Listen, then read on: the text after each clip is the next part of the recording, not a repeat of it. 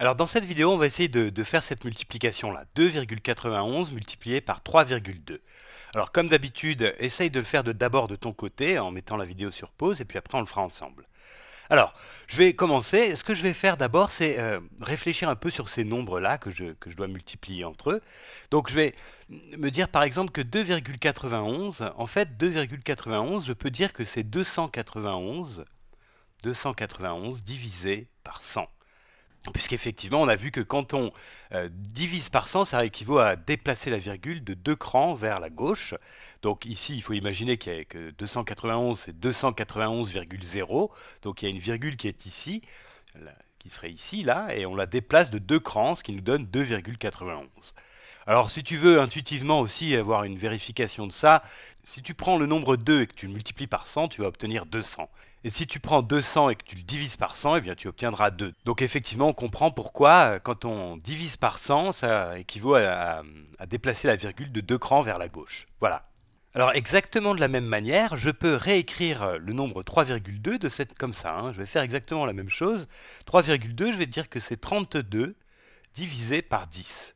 Ça, c'est exactement la même chose. Quand on divise par 10, on décale la virgule d'un cran vers la gauche. Donc ici, il faudrait imaginer une virgule là, c'est 32,0. Et on décale la virgule d'un cran, on obtient bien 3,2.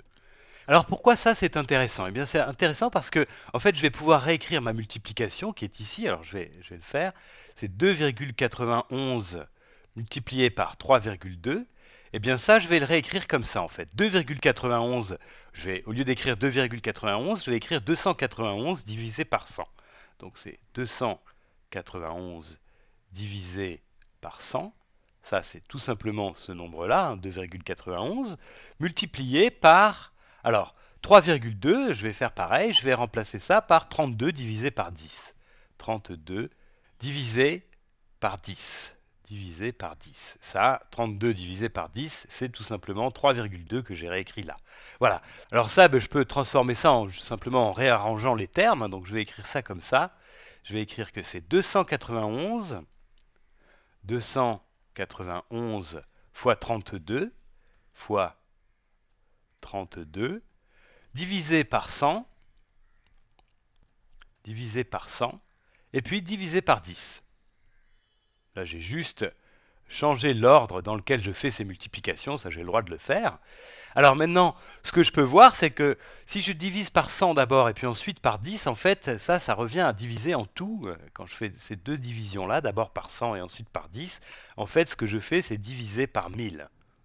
Diviser par 1000. Donc finalement, je peux encore réécrire cette opération-là, je vais l'écrire comme ça, c'est 291, alors je vais prendre le jaune, 291 fois 32 fois 32, le tout divisé par 1000. Le tout divisé par 1000, puisque euh, ces deux divisions successives, divisées d'abord par 100 puis par 10, ça revient à diviser par 1000. Voilà, donc là j'ai réécrit cette opération-là différemment, en, utilisant euh, des nombres entiers, du coup, 291 et 32, et puis ensuite en redivisant le tout par 1000. Alors je vais faire maintenant cette opération-là, alors je vais prendre une autre couleur, je vais faire cette opération qui est ici, donc je vais l'écrire, je vais la poser, hein, comme on fait d'habitude, 291 fois 32, et ça c'est quelque chose que je sais faire, hein, puisque c'est une multiplication de deux nombres entiers, donc je vais le faire avec les règles habituelles, 2 hein. fois 1 ça fait 2, 2 fois 9 ça fait 18, je pose 8 et je retiens 1, et 2 fois 2 ça fait 4, plus 1, 5. Voilà. Ensuite j'ai 3 fois 1, alors je me décale, hein. je mets un 0 ici, puisque c'est des 30, c'est des dizaines en fait que j'ai ici. Donc 3 fois 1, ça fait 3. 3 fois 9, ça fait 27, je pose 7 et je retiens 2. Et ensuite 3 fois 2, ça fait 6, plus 2, 8. Voilà. Alors maintenant, je vais additionner en colonne. Donc 2 plus 0, ça fait 2. 8 plus 3, ça fait 11, je pose 1 et je retiens 1. Là, j'ai 6 plus 7, ce qui fait 13. Donc je pose 3 et je retiens 1. Et là, j'ai 1 plus 8, ce qui fait 9. Donc cette multiplication-là, 291 fois 32, ça fait 9312. Alors là, je vais pouvoir écrire ça. Ça, c'est 9312. Donc la multiplication que je dois faire, 2,91 fois 3,2, elle revient à faire 9312 divisé par 1000. Divisé par 1000. Voilà. Alors pour faire cette euh, division-là, en fait, il faut se rappeler toujours la même règle. Hein. Quand on divise par 10, euh, on décale la virgule d'un cran vers la gauche. Quand on divise par 100, ça fait 2 zéros, on décale la virgule de 2 crans vers la gauche. Et quand on divise par 1000, il y a 3 zéros, et on décale la virgule de 3 crans vers la gauche aussi. Alors ici, évidemment, il n'y a pas de virgule, donc, mais il faut penser ça comme ça, c'est 9,312,0. Donc on doit décaler la virgule de 3 crans, 1, 2, 3. Et donc la virgule vient se placer ici juste avant le 3, donc après le 9. Donc finalement le résultat ici de notre multiplication, c'est 9,312. Voilà. Alors ça, ça veut dire que quand euh, je fais cette, euh, cette opération-là, 291 multiplié par 32, je trouve 9312, et quand je redivise ce résultat par 1000, je divise ce résultat par 1000, eh bien j'obtiens le résultat de cette opération-là, qui est 9 312.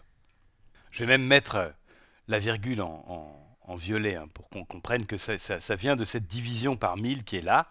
Là, je divise par 1000 ce résultat. Voilà. Et alors, là, il y a quelque chose qui est intéressant, c'est que ici, on a dans nos, deux nombres qu'on a multipliés entre eux, il y a trois chiffres après la virgule. Il y a ce chiffre-là, ça c'est un chiffre après la virgule, là il y a un deuxième chiffre après la virgule, et puis là il y a un troisième chiffre après la virgule. Et quand on regarde le résultat de l'opération qu'on a effectuée de cette manière-là, en divisant par 100, puis par 10, eh bien on, obtient un résultat qui a aussi trois chiffres après la virgule. Ici il y en a un, ici il y en a deux, un deuxième, pardon, et ici il y en a un troisième. Donc en tout, on a trois chiffres après la virgule, c'est-à-dire autant que dans les deux nombres qu'on a multipliés entre eux. Alors pourquoi est-ce que c'est comme ça? On va y réfléchir un petit peu. Ici, ce qu'on a fait euh, là, à ce, stade-là, c'est qu'on a, on s'est débarrassé de la virgule. Hein. On est passé de 2,91 à 291. En fait, pour faire ça, on a réécrit 2,91 comme 291 divisé par 100. Donc là, divisé par 100, ça tient compte de cette virgule qui est ici. Et puis on a écrit 3,2 comme 32 divisé par 10. Et là, le fait de diviser par 10, ça tient compte de la virgule qui est là. Hein. C'est comme ça qu'on tient compte de cette virgule. Donc en fait, là, on a déplacé la virgule de deux crans et ici d'un cran. Donc en tout, on a déplacé la virgule de trois crans. Hein. On peut voir ça comme ça. Donc en fait, pour revenir sur la multiplication qu'on souhaite vraiment faire, qui est celle-ci, 2,91 fois 3,2, il faut qu'on redéplace la virgule de trois crans vers la droite, puisqu'on l'a déplacée de trois crans vers la gauche avant. Hein. Donc voilà, en fait, on peut voir ça comme ça. Ici, quand on passe de 2,91 à 291, on multiplie par 100. On multiplie par 100. Et ici, quand on passe de 3,2 à 32, en fait, on multiplie par 10. Donc en tout, on a multiplié par 100 et par 10, donc par 1000 en tout. Et pour revenir au produit, à la multiplication de départ, eh bien, il faut rediviser le tout par 1000. Voilà, et donc c'est pour ça que quand on a ici trois chiffres après la virgule dans les deux nombres qu'on multiplie, on retrouve forcément dans le résultat trois chiffres après la virgule aussi.